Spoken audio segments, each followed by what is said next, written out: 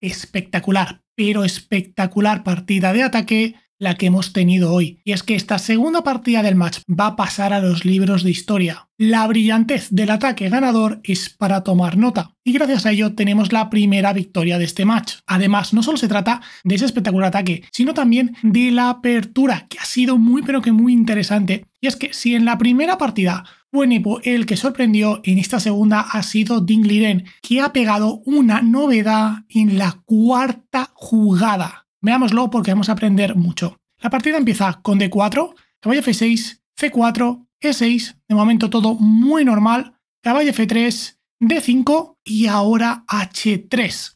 Una jugada que no se había jugado nunca antes a nivel de élite. Y es que H3, objetivamente hablando, no es una buena jugada. No es una jugada que desarrolle una pieza. No es una jugada que ayude a controlar el centro, ni siquiera es una jugada que sirva para evitar alfil G4, es decir, que controle esta casilla, ya que en esta estructura de peones las negras no van a poder desarrollar el alfil hacia aquí. Por tanto, ¿cuál es la idea de Dingliren? Pues mira, te lo explico.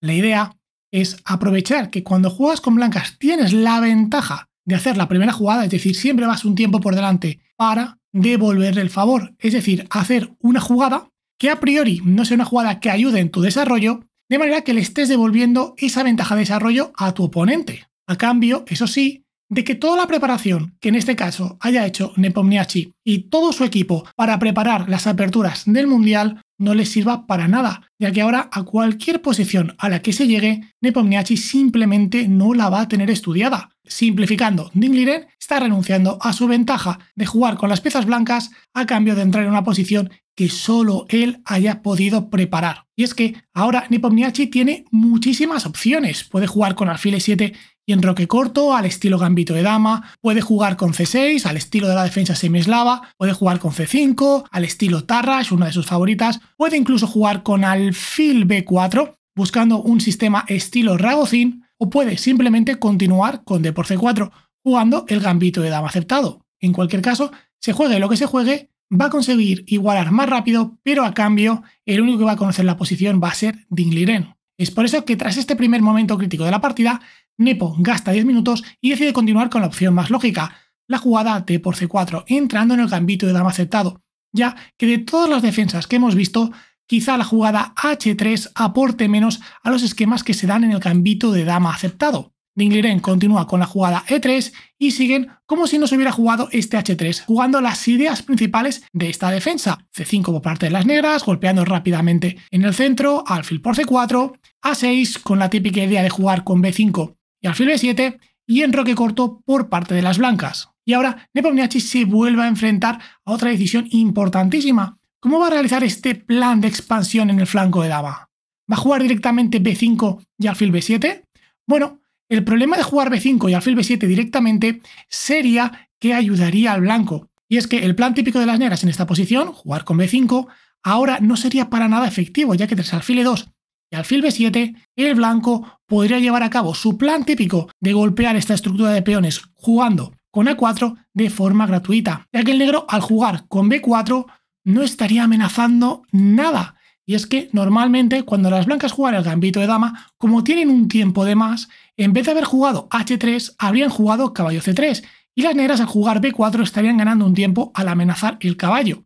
Sin embargo, ahora, si se hiciera este orden, veríamos que las blancas no solo estarían ganando un tiempo, ya que ahora podrían continuar, por ejemplo, con caballo D2, para seguir con caballo C4 a5 y controlar la casilla de B6, sino que además de ganar este tiempo, habrían jugado de forma totalmente gratuita la jugada H3. Así que aquí podemos ver cómo defino ha sido este H3, esta jugada inicial que cambia la naturaleza de las jugadas lógicas de las diferentes defensas y que Nepo tiene que estar revisando constantemente no sea que caiga en la trampa de su oponente y llegue a una posición donde los planes típicos no le llevan a una posición buena. Y volviendo a pensar otros 10 minutos, decide continuar con la jugada caballo C6, no jugando este B5 directamente para darle el tiempo a que sea el blanco el que ahora sí juegue caballo C3 y este B5 vuelva a cobrar sentido, ya que tras alfil de 3 y alfil de 7, cuando el blanco, tal y como sucedió en la partida, ataque esa estructura de peones y juegue A4 poniendo presión,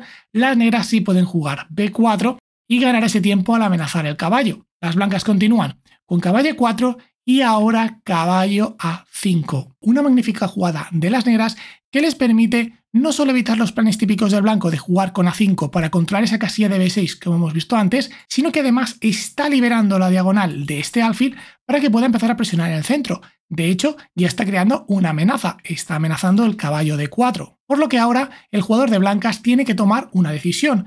¿Qué hacer con este caballo? Básicamente tiene dos opciones, jugar con caballo por C5 o jugar con caballo por F6, ya que no se puede permitir una jugada pasiva como podría ser caballo G3 porque las negras van a continuar con C4, van a ganar un tiempo amenazando el alfil y van a dominar totalmente el flanco de dama, algo que el blanco no debe permitir. Por tanto, Dean debe elegir una de esas dos opciones más activas. Si continúa con caballo por C5, podría parecer lo más normal, pero tras alfil por C5 y D por C5, se llegaría a una posición de muchísima igualdad donde se ha simplificado bastante la posición, las negras van a recuperar fácilmente el peón con caballo de 7 torre c8 e incluso si hace falta dama c7, el blanco no va a poder aguantar este peón y simplemente pasa a una posición muy difícil de apretar por parte de las blancas. Y es que en esta partida, Ding Liren quiere atacar, quiere generarle problemas a Nepomniachtchi, de ahí ese h3, y lo ha conseguido. Realmente ha puesto en presión a su oponente desde la cuarta jugada, le ha hecho gastar muchísimo más tiempo del que él ha gastado y por tanto no se quiere permitir desaprovechar esa ventaja psicológica en esta partida y no decide jugar esta variante más sólida, sino que quiere jugar de forma ambiciosa y continuar con caballo por f6. Una línea que invita al negro a capturar de peón, ya que si juega dama por f6 vendría e4 y ahora el blanco estaría ganando muchísimos tiempos, ya que la dama en f6 no estaría bien situada y jugadas como alfil g5 vendrían muy rápido, amenazando a la dama y continuando con esta expansión en el centro. Por tanto, Kenepo, que también tiene ganas de luchar, decide capturar de peón, evitando todos estos problemas y transformando la posición. Ahora la partida se va a derivar a una lucha de doble filo.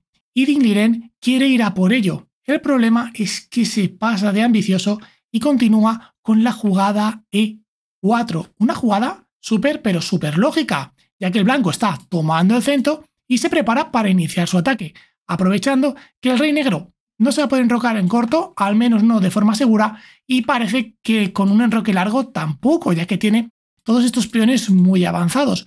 Por tanto, parece un momento excepcional para iniciar ese ataque. Además, el blanco se apoya en el tema táctico de que las negras no pueden capturar en D4, ya que tras caballo por D4 y dama por D4 vendría el jaque alfil B5 que ganaría la dama al instante. Por tanto, ese peón de D4 es intocable. Sin embargo, esta jugada es un error y permite a las negras continuar no con c por d4, pero sí con c4, que como ya hemos dicho antes, es una jugada que el blanco no debería de permitir. Podría haber jugado si lo que quería era continuar con e4, primero d por c5 y después e4, que por supuesto no tiene tanta vista de ataque, pero que no habría sido algo que le dejase en inferioridad, ya que ahora tras e4 y c4 el negro culmina su gran triunfo en el flanco de dama.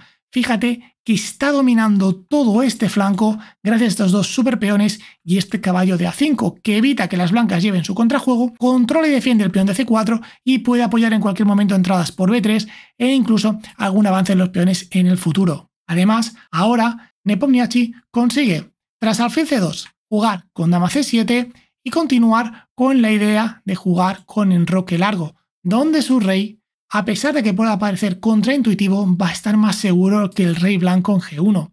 Y es que, como hemos visto, las negras controlan el flanco de dama totalmente. El blanco simplemente no está a tiempo de iniciar un contraataque, aunque como vamos a ver, Ningliren lo va a intentar. Pero a priori las negras tienen muy controlado este flanco. A diferencia del blanco, tiene controlado su flanco de dama, en el cual las negras pues, van a controlar toda la columna G con la torre, la van a poder buscar coordinar con este alfil que va a ser un cuchillo contra G2 y encima también pueden desarrollar su alfil de D6 para que junto a la dama también vengan a atacar por esta diagonal. Así que, aunque parezca extraño, es el blanco quien ahora va a tener el rey más débil. Así que continuemos porque esto va a escalar muy rápido. Las blancas continúan con alfil de 2, una jugada lógica de desarrollo, y Nepomniachtchi ni siquiera se enroca. Antes de enrocarse dice, cuidado Dink, que ya pongo la torre en la columna G y voy a venir a atacar. Voy a por tu rey. Dingliren, por supuesto, no se achanta y continúa con la jugada torre C1, buscando también un futuro contrajuego por esta columna. Las negras se enrocan en largo y ahora, por segunda vez, Ding se pasa de ambicioso y en esa lucha por querer aprovechar esa ventaja, esa sorpresa con ese H3, continúa con alfil de 3, una jugada que busca generar ese ataque antes de que su oponente se lo haga él, pero que es prematura y que es una jugada que se acerca a alguien más a la victoria es al negro. Y es que alfil de 3 puede tener sentido, puede parecer normal, ya que ahora el alfil está liberando a la torre para, como decíamos, que pueda atacar por esta columna, columna en la que además está la dama y el rey, por tanto este peón está clavado, no, súper clavado, y las blancas pueden poner presión sobre este peón e incluso traer más piezas a presionarlo. El problema es que las negras se pueden salvar rápidamente, ya que tácticamente este golpe no funciona. Y Nepomniachtchi, jugando rápido y muy bien, continúa con rey b8, una excelente jugada que ya saca al rey de esta columna y además va a evitar todos los temas del blanco. Y es que ahora simplemente no puede poner más presión sobre c4. Si continúa con jugadas como dama e2, buscando traer otra pieza más a atacar, simplemente c por d3, ya que ahora al estar el rey negro en b8, si las blancas juegan torre por c7, no sería jaque, y las negras pueden capturar en e2, y además de haber ganado ya una pieza, están amenazando la torre de f1 y la torre de c7. Por tanto, algo que el blanco no puede jugar. Y es que incluso si tras rey de 8 el blanco busca lanzarse ya al ataque con alfil por c4, un golpe táctico que parece interesantísimo, tampoco le valdría. Y es que tras caballo por c4 no pueden continuar esta presión. Tras jugar b3, las negras tienen de milagro la jugada caballo b2, que contraataca amenazando la dama, por tanto el blanco no llega a tiempo de capturar su dama en c7, y tras la jugada dama e2, jugada lógica, amenazando la torre y buscando simplemente sacar el alfil para capturar este caballo, que fíjate, se habría quedado sin casillas, tampoco valdría, ya que las negras juegan dama de 6 y el blanco no está a tiempo de jugar alfil e3, que sí, caza el caballo, pero tiene el problema de que ahora las blancas no están defendiendo en e4 y tras alfil por no se puede jugar dama por b2 porque alfil por caballo y se gana una pieza. El blanco tiene este peón clavado, fijados, esta super torre y por tanto no puede recapturar una línea que no le valdría y que yo creo que quizá es lo que se le escapó cuando jugó ese alfil de 3 hace un par de jugadas y que realmente le ha dejado en una situación muy pero que muy difícil, ya que ahora, ¿qué podrías jugar con blancas? No puedes aumentar tu presión sobre C4 y no hay manera de hacer una jugada que sea útil. Prácticamente nos quedamos sin jugadas. Dingliren encuentra la bonita torre 1, una jugada que puede parecer muy interesante. Estamos sobreprotegiendo el peón de 4 que hemos visto que en algunas líneas podía sufrir y además ganando la casilla F1 para el alfil, que quizá en un futuro pueda venir a esta casilla para defender G2, que hemos visto que era el punto clave en el que el negro estaba basando todo su ataque. Pero por desgracia, estas partidas de doble filo suelen ir de un tiempo, es decir, el primero que consiga generar problemas normalmente suele ser el que se lleva el gato al agua. Y en este caso, Nepo continúa jugando muy bien y muy rápido y hace la bonita F5. Una brillante jugada que prácticamente le está dando un ataque ganador. Y es que ahora las negras van a destrozar este centro blanco, van a poner mucha presión y van a liberar este monstruito de B7 una vez más para que vengan por G2. Fíjate, las blancas ni siquiera pueden hacer E por F5 porque vendría el bombazo torre por D4. Y es que, fíjate, las blancas ni siquiera podrían recapturar, ya que tras caballo por d4 vendría torre por g2, coronando esa coordinación entre alfil y la torre, seguido de un espectacular mate. Rey f1, torre por f2 jaque, rey por f2, dama h2 jaque, el rey tiene que intentar huir hacia el centro y alfil h6 jaque mate. Tan bonito como efectivo. Por tanto, tras este torre por d4, las negras como mínimo estarían ganando una pieza, ya que si el blanco no puede recapturar y se está amenazando este alfil de d3, cuando este alfil se mueva, por ejemplo, alfil f1 para venir a defender g2, tan sencillo como alfil por f3, dama por f3, única jugada, y ahora el alfil de e2 no está defendido y las negras ganan una pieza. Así que el blanco no puede hacer nada activo, no puede contraatacar, no puede jamás de los jamases permitir que se abra esta diagonal o la partida acabaría de inmediato. Así que solo le queda hacer una jugada de espera, en este caso alfil c2, para intentar mantener la defensa sobre 4 y esperar que el negro no consiga romper este centro. Y aquí Nepo hace una jugada que a mí personalmente me gusta mucho, pero mucho, y es la jugada caballo c6. Algo que os digo siempre en los directos del canal. Cuando uno quiere atacar, tiene que traer cuantas más piezas mejor. Cuantas más piezas, más fácil crear ese ataque. Y es que el caballo en A5 estaba muy, pero que muy bien, estaba controlando todo el contraataque del blanco y le permitía tener toda su energía puesta en este ataque en el flanco de rey. Pero esto es algo que ya no va a suceder. El blanco no puede crear contrajuego en el flanco de dama. Está totalmente atado a la defensa. Por tanto, el caballo en A5 ya ha cumplido su misión y qué mejor que traerlo a C6 para traerlo hacia el flanco de rey a atacar. De hecho, ahora mismo ya está creando presión sobre D4, es decir, de momento ya está amenazando un peón. Así que tras esta bonita jugada, las blancas tienen que hacer algo y deciden jugar alfil G5, una jugada súper lógica. ¿Por qué? Primero de todo porque quita el alfil de delante de la dama para que la dama pueda venir a apoyar el caballo en la defensa de este peón. Además, el alfil está amenazando la torre de D8 y más importante aún que todo esto, el alfil está bloqueando esta columna, de manera que ahora la torre ya no coordina para entrar por este punto de G2 que tanto daño le hacía. El problema es que Nepo ya ha olido el ataque y va a iniciar su combinación final y decisiva. Y es que aquí uno con negras podría pensar una jugada lógica como alfil E7. Bueno, me defiendo de la amenaza de alfil G5 sobre la torre de 8, ahora si capturas voy a traer mi dama, te quito este bloqueo y continúo mi ataque. Una jugada, pues aparentemente lógica, pero Nepo, que está enchufadísimo, encuentra una idea aún mejor. Es que hace una jugada que la verdad sería muy difícil de hacer. Y es que hace un sacrificio, hace la jugada torre por G5, un brillante sacrificio que costaría mucho de hacer. ¿Por qué? Bueno, no es porque tras caballo por G5 estemos entregando una calidad, que también estamos entregando material, pero porque estamos entregando la joya de nuestra corona, es decir, hemos basado todo nuestro ataque en la coordinación de aquel alfil y aquella torre por G2. Y ahora, de una forma prácticamente gratuita, es decir, entregando material, nos deshacemos de nuestra mejor pieza de ataque. Pero Nepo va más allá y es consciente de que lo importante cuando se hace un cambio no son las piezas que se van, sino las piezas que quedan en el tablero. No es esa torre y ese alfil que se han ido, es ese caballo que ahora está en G5, que deja de defender de 4 el punto central del blanco y ahora el negro puede simplemente jugar caballo por D4 y la posición blanca colapsa instantáneamente. De hecho, está absolutamente perdido. Ahora las negras tienen el control total y muchísimas amenazas sobre la posición blanca. La primera y más directa, simplemente, simplemente jugar caballo B3, amenazar la dama y recapturar la torre C1 a la siguiente jugada recuperando el material. Algo que por supuesto el blanco no va a permitir. Pero es que la compensación va más allá de todo esto. Ahora, las blancas han perdido su alfil de casillas negras, por tanto, este alfil va a tener vía libre para dominar todas estas casillas y generar un montón de problemas. Además, estos dos peones ahora va a ser muy fácil conseguir avanzarlos y luchar por esa coronación.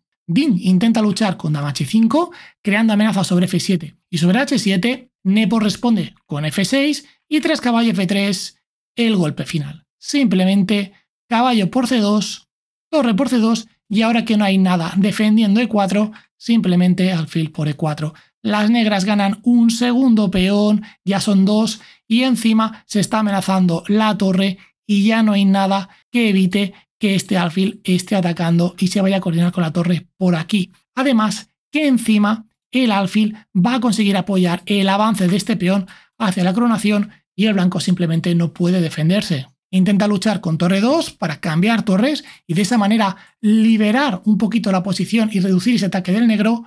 Nepo no lo permite, alfil de 6, bloqueando y tras rey h1 simplemente c3. Y este peón es imparable, ya que tras d por c3, b por c3 y torre d 4, las negras juegan c2, amenazando c1 igual a dama, hay que defenderlo, hay que jugar dama h6 para poder traerla a defender esta casilla pero ahora la elegante y sencilla jugada E5. Una jugada que gana la torre.